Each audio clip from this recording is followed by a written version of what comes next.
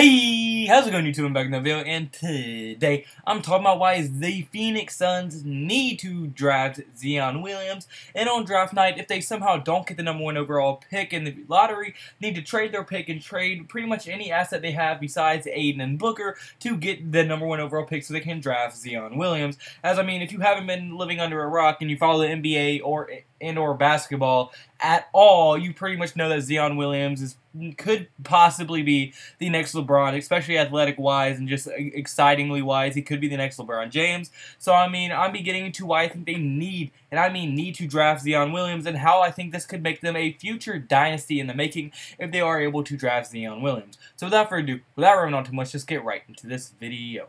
Alright, so my first reason for this video is going to be they, they could have the big three of the future. As I mean, if you look at it, with the Suns right now sitting at an 11 and 48 record, there is a huge, huge chance that they do get a number one overall pick, as they are currently tied for the worst record in the entire NBA with the New York Knicks. So, like I said, there's a very, very high chance that they could end up with the number one overall pick. But with that number one overall pick, they already have two great young players, as they have a 22 year old Devin Booker who averages 24.6 points per game, 4 rebounds per game, 6.7 assists per game, and a rookie in DeAndre Ayton who's averaging 16.5 points per game, 10.5 rebounds per game, 2 assists per game, and 1 blocks per game. And both of them could definitely be the future of their position. Devin Booker is showing that he is one of the best scorers in the league. I think he had a 70 point game not too long ago. And DeAndre Ayton literally any other year, pretty much as a rookie, he would be the rookie of the year. But Luka Doncic is going to be the rookie of the year this year. But if you didn't have Luka Doncic, he would for sure be the next guy up. And DeAndre Ayton looks like he could also be the future of his position in the years to come. Because they already look like they have a very, very bright future with those two players. And if they can build around them too, just by themselves, they would, they do have a chance to have a very, very bright future. But then if you also add Zion Williams to those two players, then you have a big three that could be probably the best big three in the entire league. As I mean, it's pretty much since LeBron James, we have not seen another athlete or basketball player be this excited about coming out of the draft, coming out of college, being this excited to really see what he's going to be able to do in the NBA. And that we're pretty much saying that he's going to be a instant game changer for whatever team he goes on. And if you can add Zion Williams, who this year with Duke is averaging 22.4 points per game, 9.2 rebounds per game, 2.3 assists per game, and 2.3 steals per game and 2 blocks per game while shooting 68% from the field, you can create a big three that will not even be able to be touched in the future. Because just think, they're all going to be peaking at one time, and I'll be getting a little bit more in depth to that very, very soon. But I mean, just look at your big three. You would have Devin Booker, who could definitely in the probably four or five years be the best shooting guard in the league. DeAndre Ayton, who could probably be a top two, top three center in the entire league in a few years, and then Zion Williams, if he does go like people go like think he will and be as good as people think he will in the NBA, well, you could definitely have one of the best small forwards in the entire league as well, and Zion Williams, and you can really play power forward, small forward. You can play either one. He's really interchangeable, so you can have either, probably the future of both of those positions as well. And that if you dra- do draft Zion Williams, so I mean, just the possibilities to compare a dead eye shooter like Devin Booker, a just a great center in DeAndre Ayton, and then a possibly future LeBron James to pair them all that. I mean, it won't even be that hard to build a team around that at that point due to how bright their future would be.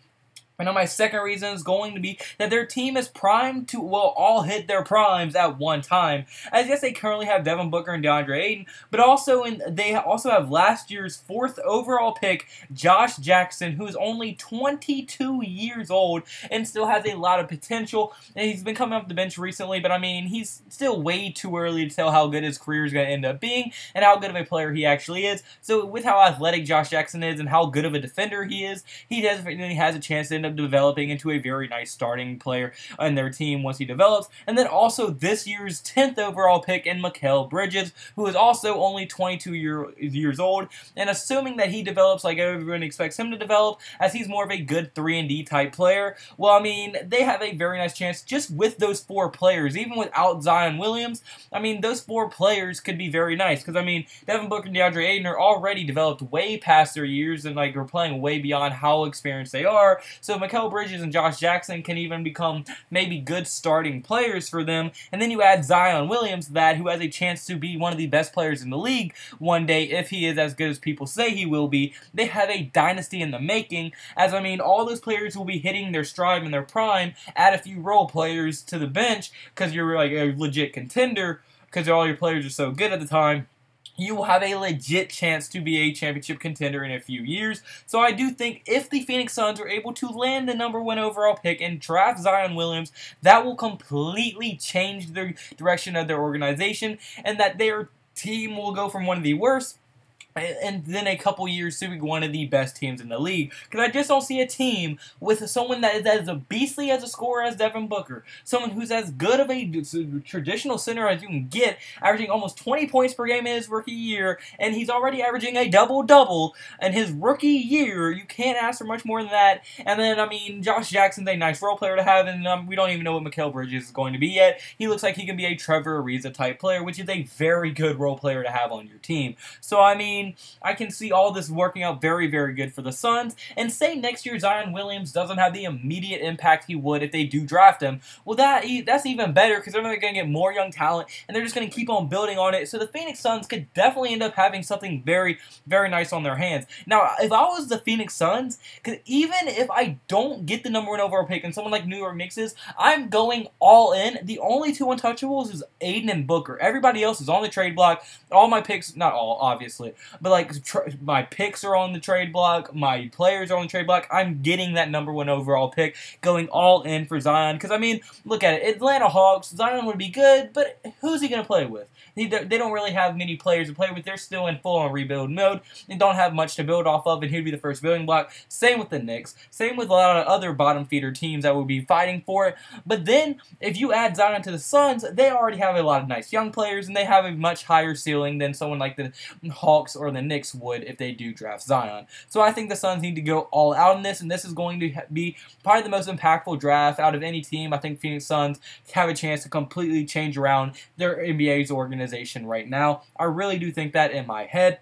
So yeah, another team that would be pretty interesting, I might be just biased, is like the Pelicans. The Pelicans are having a disappointing season. Anthony Davis wants to leave, but maybe if we are somehow bad enough and somehow get lucky enough to get the number one overall pick, we could get Zion. But that's going to be a whole other video. So if you do want to see me make a video like that for the Pelicans or any other team, comment that below as well. And if you'd like to play the like button and subscribe button. And I can't thank you all enough for all the support I've been showing, but I also have to give all thanks to God. He's the reason I'm here. He's blessed me to put me in this position to succeed, to make these videos almost every other day for you guys. So I just cannot thank y'all enough for that at all. He's blessed me so much. He's blessed me with the people around me. He's blessed me with all my friends, keep me motivated, and really helped me do this. And you know, just good vibes at all times. I just can I'm just so so blessed by the man upstairs. I just cannot thank y'all enough. Can't thank him enough. I'm so blessed. Like I said, that's it for this video. So if you like the video, play like, man, and subscribe button. Hope you have a blessed day. Can have a blessed day? So you need to have a blessed day. See you in tomorrow's video. Goodbye. Boo. Blah, blah, blah.